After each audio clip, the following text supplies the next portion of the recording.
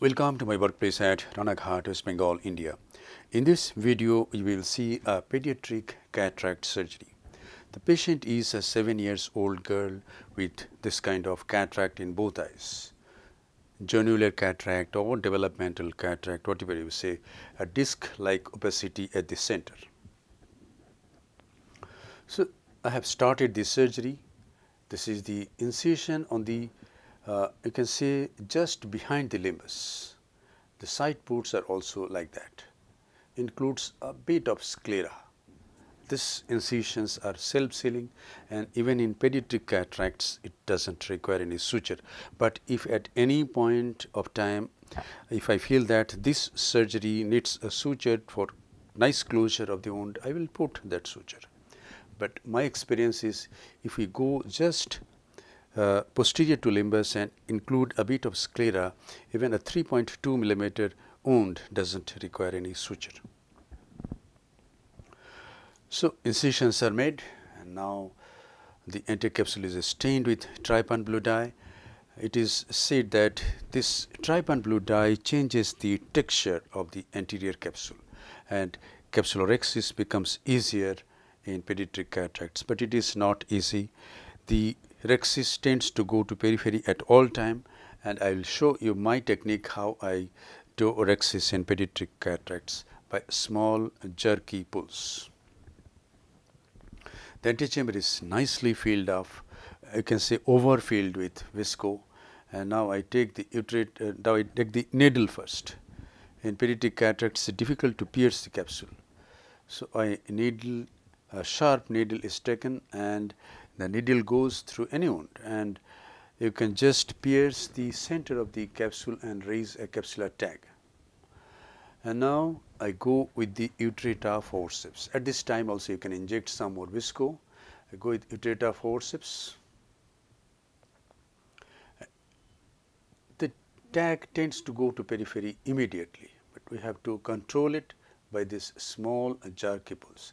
At this time I find that it is going to periphery, so I inject visco, still it is manageable, it has not gone to far periphery. And here I so and these are the small jerky pulls to do what I want to do. If I just be normal uh, pull, it can go to periphery, but small jerky pulls can control the uh, you know path better. Now, I do hydrodissection, I see that the uh, hydrodissection cannula can pierce the white thing easily. So, I know that this will not require any phaco handpiece. So, I just remove the uh, cataractous part with Simcoe. And now I try to remove the cortex with Simcoe, but it does not come out easily. So, I inject visco and take the bimanual irrigation aspiration. Uh, I am using about 350 vacuum and 35 flow rate and even with this much vacuum it is I am finding it difficult to get it. There is lot of resistance, the cortex does not want to come, but it is coming. This is real time surgery And now what I am doing is uh, with the irrigation probe I irrigated the equator of the bag and now the cortex is coming easily. So, done and now I change hands irrigation is on the left and aspiration on the right now and the cortex from 12 o'clock to 4 o'clock comes easily. So, cortical cleanup is done and now is the main step of the surgery. All, all steps are tricky, all steps are main steps, but this is the most important step in pediatric cataract surgery, doing a PCCC, posterior continuous curvilinear capsulorhexis. That is uh, rhexis on the posterior capsule and the caps this rhexis should be smaller than the anterior capsule and it should be central. So, I take this cystitome, make a puncture at the center, raise a tag and now I take the Utrata forceps I go, hold this tag and I rotate it and this tag also tends to go to periphery. But I could control it and I could do a nice posterior rhexis, central and smaller than the anterior rhexis. And now this is 2 percent HPMC, filling up the anterior chamber, filling up the gap between two capsules and now enlarging the main wound to about 3.1 millimeter. I am using a cartridge which go should go easily in the wound. This uh, okay about lens selection. The lens is a Sensar multipiece intraocular lens and in, in lens selection my guide is Dr. Lav Kochgaway from Kolkata. He is a very renowned pediatric ophthalmologist. Uh, the emmetropic power of this child is 28 diopter and we we targeted a bit of hypermetropia and with Dr. Lav's guidance we have selected 26 diopter. Emmetropic power is 28, we have targeted hypermetropia and we are putting 26 diopter which the child will be hypermetrop by uh, about 1.25 diopter. And now, uh, the lens is to be placed. The lens has been loaded in the cartridge by this time and my plan is to place the lens in the uh, not in the bag. First I am placing the haptic on the iris over the iris that is in the anterior chamber because suddenly the haptic can go into vitreous and it can tear off the uh, capsule, posterior capsule and lot of problems can happen. So, it is better to place it over the iris and then pull it and place it in the capsular bag. Place it in the bag,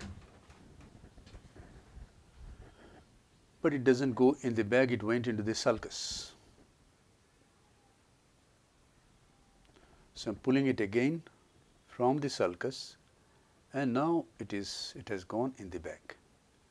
How I understand? There is a kink in the anterior capsule at 7 o'clock and by that I could make out that it has gone in the bag. Inject some more visco and now my plan is to place the trailing haptic in the bag at on go, but it does not go. So, I placed it over the iris and now I go through the right side port, take a Sinskey hook and try to place it in the bag, but it does not go.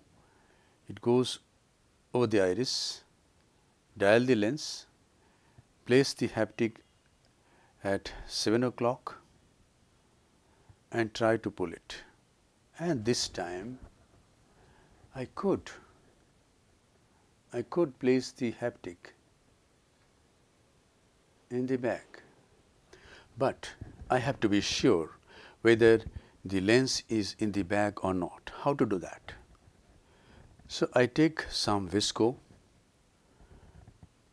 inject the visco in the anterior chamber and the pupil dilates and we can see the rhexis margin clearly now, I take a Sinskey hook and if I can hook this, yes I can hook it. If I can hook the anterior rex uh, anterior capsule at the haptic optic junction, that means the haptic is in the bag. Yes, the lens is in the bag and perfectly centered. The posterior rhexis is central and smaller than the anterior one. And now I am dialing the lens placing the haptics at 6 o'clock and 12 o'clock because I want to go through the side ports in the anterior vitreous and remove all the visco that went into the anterior vitreous and do a bit of anterior vitrectomy so that I can remove the scaffold over which epithelial cells, lens epithelial cells can grow and uh, Elschnig pearl formation can be prevented. So, here it is. I am going into the anterior vitreous this is a good new cutter and it is cutting well. It is removing the viscoelastic substance that went there as well as it is cut, cutting the uh, uh, anterior vitreous.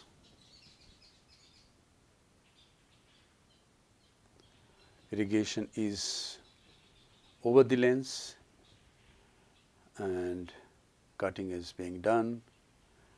Here we complete removing the uh, viscoelastic substance. Now some more cutting for removing the anterior vitreous face and removing the scaffold, vitreous scaffold over which lens epithelial cells may grow. And now as I come out the antechamber will be flat. So, I keep an air bubble ready before I come out. And I do this simultaneously. Come out and inject the air bubble so that the antechamber is not flat, the vitreous does not come anteriorly. And this practice is good. Whether you do uh, during bimanual irrigation aspiration of the cortex in beginner's hands when you complete irrigation aspiration you will see that all the uh, fluid is coming out and the antechamber is becoming flat. At that time you can keep the AC formed by air and then you get time to hydrate the side ports. So, that is what I am doing here hydrating the side ports and closing the side ports. And now to check whether the vitreous strands are there in the antivitreous and in the antechamber or not. This is a bit of Kenacort and I aspirate and I find that there is no vitreous strand in the anterior chamber. If it were there, it would stain with Kenacort. Kenacort particles would stain, stick to the or cling to the vitreous strands and we could appreciate the vitreous strands. It is not there, clean, nice. And now I am forming the antechamber at this time the Simcoe is in the anterior chamber the irrigation area. Now the irrigation is in the tunnel the sclerocorneal tunnel and now I keep it here for some 10 seconds and then I come out and now I check if it is leaking or not. I find that it is not leaking. The cornea is taut. There is no wrinkling on the cornea. And I feel the pressure. And this is okay. And this is a bit of moxie. Inject just a bit of moxie in the anterior chamber and feel the pressure. Is fine. And our surgery is done. So, in this surgery we have seen lot of things so, keep these things in mind and do a very good pediatric cataract surgery. Thank you very much for your attention. Hope this video will help you in your pediatric cataract surgery.